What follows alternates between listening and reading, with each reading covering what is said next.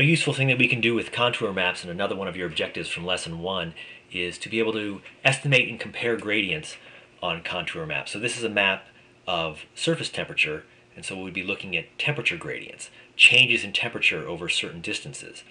And we want to look for areas of relatively large temperature gradients and relatively small temperature gradients.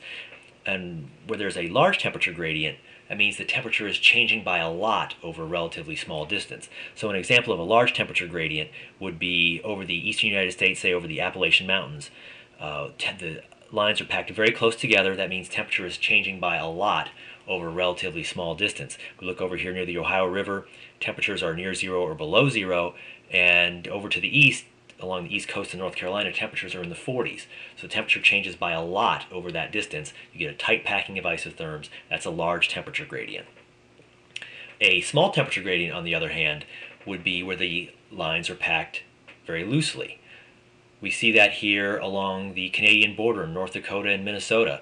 There's not a tight packing of the lines at all. That means the temperature doesn't change by very much over that distance. So we see this uh, minus 15 degree isotherm here there's this uh, closed isotherm, which is minus 20 degrees, and then over here near Lake Superior, there's a minus 15 degree isotherm again. So temperatures are largely between minus 15 degrees and a little bit lower than minus 20 within that circle, that closed isotherm there. Temperature doesn't change by very much over that large area. That's a small temperature gradient.